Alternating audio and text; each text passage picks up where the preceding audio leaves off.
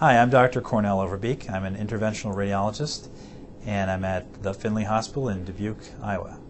Well, interventional radiology is a very broad field, and it touches on a lot of different patient populations and different types of problems.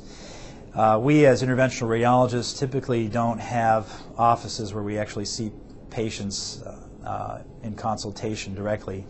Most patients come to us through referrals from other physicians. There's a large subspecialty within interventional radiology that I'm very interested in, which is interventional oncology, which involves a lot of different types of procedures in which we treat cancers uh, without surgery. Uh, for example, we can put a catheter into an artery feeding a tumor and deliver chemotherapeutic agents or radioactive agents directly to the tumor through the catheter.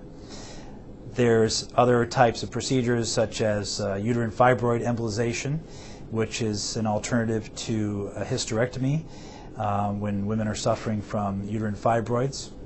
We can put a catheter into the artery feeding the fibroids and we can inject little particles that basically block off the blood supply and uh, cause the tumors to die without uh, having to go in and take them out.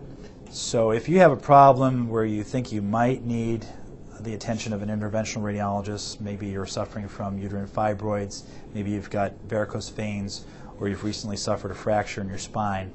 Best thing is to go see your doctor and get a referral.